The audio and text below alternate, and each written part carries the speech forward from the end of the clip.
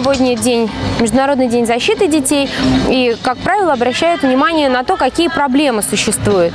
Но мы немножко решили отойти от привычного понимания этого праздника и решили, наоборот, сделать детям подарок в этот день, потому что важно, чтобы у детей а, вот сегодня и сейчас было хорошее настроение. Я рисую цветок и имя пытаюсь.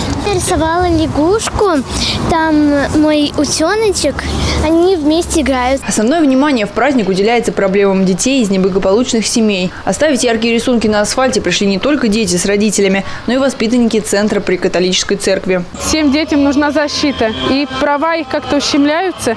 Это в руках все взрослых, поэтому для детей, конечно, сегодняшний день это такой момент попраздновать, порадоваться, а для взрослых это как вот призыв, чтобы все-таки задуматься. В центр приходят дети, чьи родители не могут уделять им достаточно внимания. Десятилетняя Снежанна не по годам взрослая и рассудительная. Воспитанники центра даже в шутку называют ее мамой. Больше всего я люблю свою семью. Я люблю Оренбург, в котором я живу.